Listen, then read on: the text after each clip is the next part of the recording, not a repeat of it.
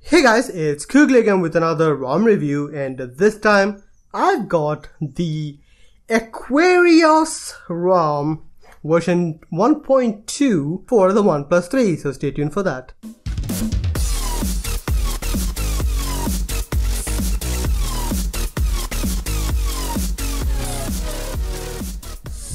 So guys, the AquariOS ROM. Now it's a relatively new ROM, at least as far as I'm concerned. I've never heard of this ROM. I was actually very surprised. Let's get started on why. So first of all, in the uh, settings menu, you can see about phone page in here you can see it is 7.1 uh, 7.1.2 so it says slim oneplus 3 so that probably means it does have some sources from slim rom not really sure. I didn't see anything on the forum post, so it could be a dud. It does have the May 5 security patches, so that's the latest one. AquariOS version is 1.2, and this is the official date of release. SELinux status is enforcing, so that is also something which you might need to understand. This is an AOSP CAF ROM, so you do have a lot of features with a great stability, with great battery life, and a good enough performance and that is a very good combination of things. Let's get started with the features then. First of all, all the features are inside this called the Coral Reef. You do have navbar options, hardware key buttons, power button can be customized, all of that is available. Now playback control is all available but it doesn't have keyboard cursor control which is a CM feature or lineage feature. Now I will just be going over all of these features uh, just in a glance. You can go check out my video in the description where you can find a video which entails all the features which is available with an Android ROM right now. Now in the other stuff you do have lock screen settings where you have lock screen shortcuts and all that is available. Lock screen torch, uh, lock screen charging info is available. This does have dash charging so you don't need to worry about that. Weather options are available. Double tap anywhere. Fingerprint on authorization is available and also fingerprint unlock is available which uh, basically forgoes any pin which you might need. I really like that. Quick setting options are available where you have quick setting tiles. You can customize that. So you can see there is a quick setting tile for the quick setting, uh, the full quick setting and also there is this option for small quick settings, but the problem is it doesn't seem to work correctly. This is still binded to your uh, DPI setting. Now, right now I have the biggest DPI setting enabled. In my preferred setting, it does give me seven rows, but here it just doesn't work correctly. It does have small scrolling quick setting tiles, so that is something there. So all these are available and that does work out correctly. Header options are available, brightness slider, brightness icon can be enabled or disabled. Status bar options with battery, uh, clock settings, network traffic indicator is available in the display settings you do have notification light which you can customize from here also battery can be customized for four different uh, characteristics so that is battery low charging 90% and 100% charge so that is really cool i really appreciate that in the dashboard options, you do have all of these, but they doesn't really have the number of columns to be selected. I would have really liked to have that because that would have been a very good, cool feature to have. It does have power notification control and you can customize that. In the system and miscellaneous option, you do have clear FAB, uh, clear all uh, location can be customized. Uh, three finger gesture is available and you can customize that. You can use three finger for that. Or if you have enabled from here, you can long press here and you can do the selected screenshot, which is pretty cool. Now it does have substratum support and that does work out. It is full OMS, so you don't need to worry about anything. It does work out really well. I use Substratum on a daily basis and I really didn't have any issues with these. Now it does come with Kernel Adiutor which is pretty cool. You can customize that. You can just look at all the features which is going on in here.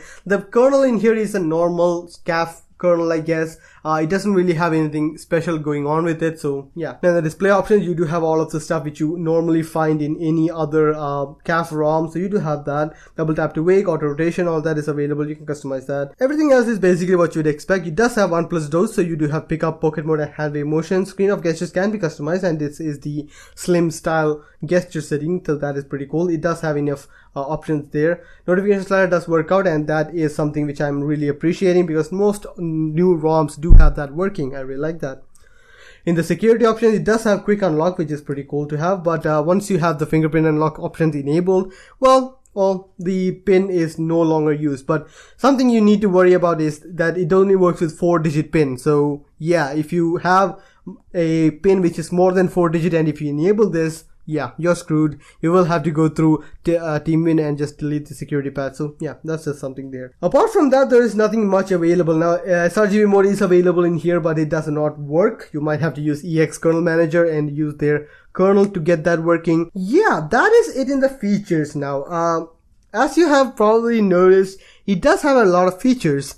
It does have enough features to keep you entertained. I really appreciate that. Yeah, I'm gonna give it a 7.5 out of 10 because it is enough features to keep me entertained and is more than enough in most cases and I really like that. So yeah, 7.5 out of 10. Now comes the battery life. Now this is where it actually surprised me a lot. Now you've already seen the level of features available with this ROM. Uh, it's quite a lot. The battery life which I received with this ROM at first was pretty amazing. I uh, the battery drain at the time was only like 0.4% uh, standby drain and maybe 1.2% active drain, which was amazing. That was just something I did not really understand why was happening because, well, it is an AOSP CAF ROM and I can expect it to have a good battery life, but that is an insane battery life. I, didn't really get that kind of a battery life with anything. Then I actually installed all my applications and the battery life is still good. I'm still getting screen on time of about four, four and a half hours, which is pretty cool. But uh, at the start of it, it actually uh, took me by surprise. I didn't really expect it to have that good of a battery life. Then again, it just uh, trickled off to the normal, settled down to about four and a half hours of battery life, uh, screen on time, which is pretty cool. And I'm gonna give it a 7.5 out of 10 in battery life. Now comes the performance of it. Now, performance is pretty good. It does have uh, about 139,337, which is on the normal echelon. It is normal for a AOSP CAF ROM or any ROM for that matter on this phone. I exp- appreciate that. Geekbench score is, I guess, more uh, different. I guess it does have. This is a score which I received 175, 1753 on the single score, single thread.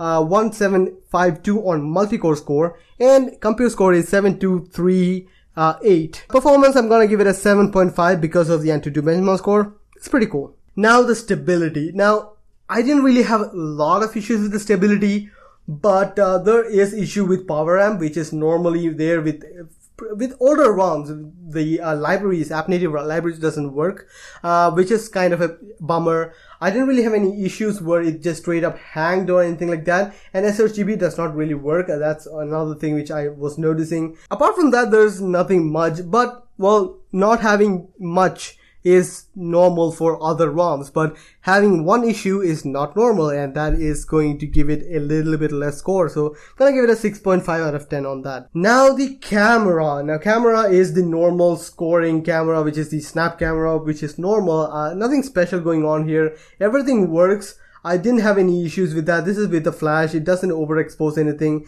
Everything is crisp, but it does have noticeably higher uh, grain and uh, noise compared to something like uh, maybe Sultan XGS ROM. So this is the hair on uh, on basically my microphone uh, well, noise filter. So you do have that. You can see there is a little bit of noise there, which is common with uh, all the custom ROMs right now. So it's a mediocre, it's a normal, so 7 out of 10. Now comes the aesthetics of it. Now it does have substrate support. It is Google Pixel styled uh, material design Nothing special going on here. So again, 7 out of 10 on that. So now comes the overall experience. As I've already said, I was pleasantly surprised with everything which I saw on this ROM. With the battle life, I was really surprised and even with the battle life right now, I'm really surprised because it is a good battle life with all these features and it does have all the features going on.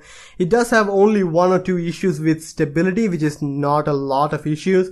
I still like it and the performance is up to boot. I don't really mind the performance of it either. All the games I've played, all the uh, basic chatting I've done with this ROM, I didn't really have any issues. It didn't hang on me, and I really like that. So overall experience, I'm gonna give it an 8 out of 10. So yeah. Let me show you guys the boot animation, which is uh, honestly nothing special. So here is the boot animation for this ROM, which is AquariOS. I honestly wished a different boot animation than this a pixel boot animation, but hey, it looks cool. It does its job, I guess. I mean, what job does even a boot animation need to do? Yeah, nothing special. So yeah, here's the boot animation here. Kind of underwhelming, but hey, okay, that's cool. So yeah, there you have it. Um, the ROM is pretty good. I didn't really have any issues with it. And uh, yeah, one more thing is the icon patches. These are the only icon which is available. Nothing special going on here, so you might want to do something about that. Uh, so yeah, that is it with this ROM then. I like this ROM for most reasons and uh, it, it works correctly. I didn't really have any issues and the battery life was pretty amazing, but it is an AOSP ROM, so that is to be expected, I kind of think. And yeah, total score is going to math out to about 7.29 out of 10 uh, out of 10 and that's going to be 7.3 and uh, that's pretty cool. That's a good score i guess in my opinion and uh, that is a really good thing. It is not a unique rom but it's not generic like the other roms either so that does make it a special one. So yeah. I guess that much is it about the rom then. Hope you guys like the video. Please share subscribe like the video if you found it useful. See you guys next time. Bye